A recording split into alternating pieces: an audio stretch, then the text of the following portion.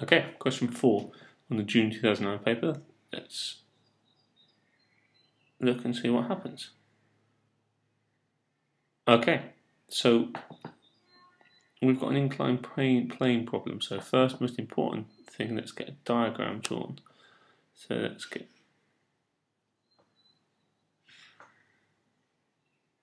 a diagram drawn and we've got a little brick. Let's just model it as a particle here. And then we've got all sorts of various well we know that this angle in here oops. This angle in here is theta first and foremost.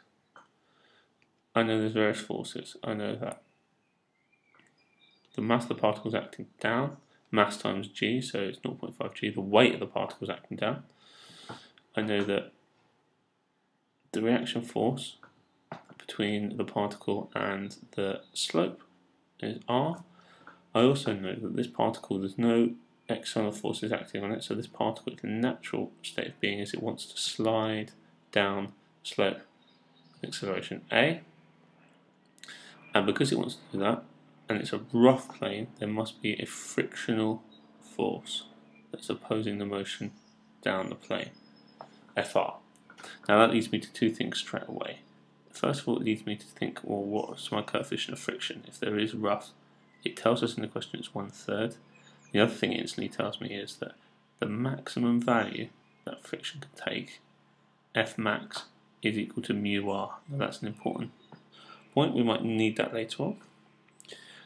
Okay, the only other thing we should do is maybe draw force diagrams just because this 0.5 g acting straight down the weight of the particle is not acting in the same direction, it's even not acting either perpendicular or parallel to the plane. So let's break it up into its components so it is.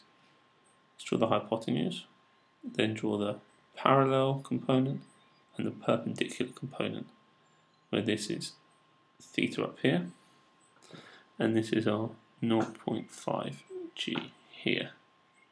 Now that means that this is 0.5 g cosine of theta and this is 0.5 g sine theta. And we've got one more thing. Well actually we know something about theta so let's draw that out over here as well. We know that if we had a right angle triangle that looked like this and this angle in here was theta, we know because of tan theta being 4 over 3, we know that this opposite is 4 and this adjacent is 3, and because of our Pythagoras' theorem, it's a right angle triangle, we know that this is 5, a 3, 4, 5 triangle. Because of that, that can easily tell us that we can work out what cosine theta is, which is the adjacent over hypotenuse, which is 3 fifths, and we know that sine theta is equal to 4 fifths, the opposite over uh, hypotenuse. Now, that's going to help us out because actually we can use this and replace cosine theta here with 3 fifths, so 3 fifths times 0.5 is equal to 0.3 g, and we can replace sine theta with 4 fifths, which makes this 0.4 g. Okay, quite a little bit of work before we get started. But there's worth marks in here for recognizing this and also breaking this, having a good diagram of breaking this up into components. Now, let's resolve in two different directions. Let's resolve the direction the brick wants to move, which is down the plane. Then I've got this component of weight, which is 0.4 g, minus the friction, which is acting up the plane, or F max because it's moving, and that must be equal to the mass times the acceleration, which is 0.5 a. That's from Newton's second law, F equals ma. This is the combined F, not don't get confused with friction, this is the combined force, which is equal to the mass times acceleration. Now if we resolve, let's call this equation number one. If we resolve perpendicular to the plane, then we're going to have R acting up, we're going to have this component of the weight acting down through the plane, so that's 0.3 g. Once we've used, just used it from here.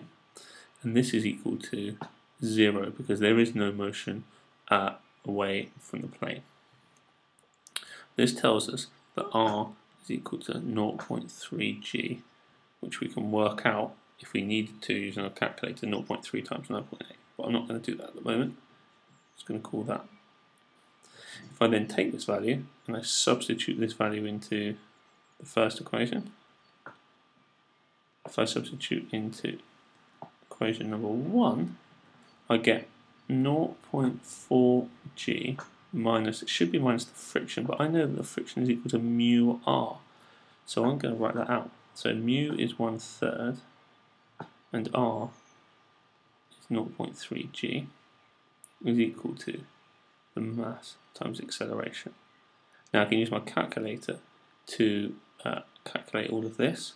So really I get a is equal to 0.3 g divided by 0.5, again using my calculator. With g as 9.8, I find a is equal to 5.88 ms minus 2. So a lot of groundwork to start with, drawing our diagram and our triangles. Once we've done that, once we've got into the algebra and the calculation, not very difficult at all. And so we're finished.